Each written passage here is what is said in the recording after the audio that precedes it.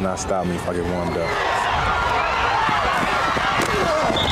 I just use my strength when I run. You know, I don't let one let one person bring me down. The year 1992. A man running among boys. You know, because I'll just run right over. Grant star running back Robert Dotson. Tremendous size, speed, and strength. Great athletic ability, and then just like you say, he's a gamer. Six foot two, 205 pounds, and not afraid to put a dent in the defense. Because he has size, runs a 4.5 40. Ah, he was explosive. Grant's first 2,000 yard rusher powered the Pacers to their first section championship.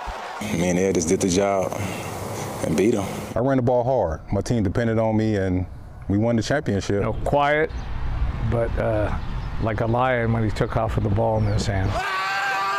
A football career that would peak in high school. Robert was so within himself shy that he never realized how really good he was. Almost 25 years later, and 10 miles down the road.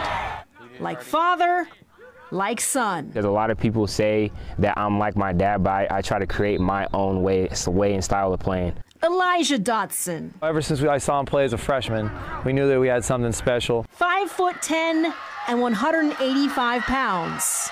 I know when I have to get things done. Eluding defenders with his shifty moves and sense of urgency. You know, he brings that like uh, that spark, like he ignites us. Antelope's power running back with the speed of a gazelle. I was a more of a bully on the field. He's a more finesse, like a finesse runner. Uh, speed when he needs it. He can run you over too. Robert's legacy lives on. I have my dad's highlight video on repeat, and he just he ran through people. He ran around people. Following in his father's footsteps, Elijah's on the verge of joining the 2,000 yard club. I just want to help my team any way possible and stay humble while doing it. Enjoying the moment, making a name for himself. He definitely told me that I was faster. he is definitely. Now, Robert and Elijah share that same love for football on the field. Off the field, Robert's making sure Elijah takes advantage of every opportunity thrown his way. Uh, don't make the same mistakes that I've made. You know, I work hard every day. I don't want them working hard like I do. Um, get your education. He motivates me to do better, so I love him. A college football career on the horizon. Don't don't give up. Stay on your grades because your your, your education will take you far. The possibilities are endless. I'm certain with his ability and, and just his um, character that he's going to find somewhere that's really special. And when Elijah's not heating up on the field, he's cooking in the kitchen. I want to be a chef. He's talented in the kitchen.